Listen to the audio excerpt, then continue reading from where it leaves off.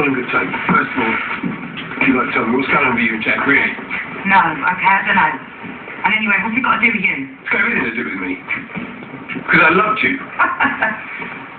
I did. I'm not saying I'm still in love with you. I'm not. I'm not making a move.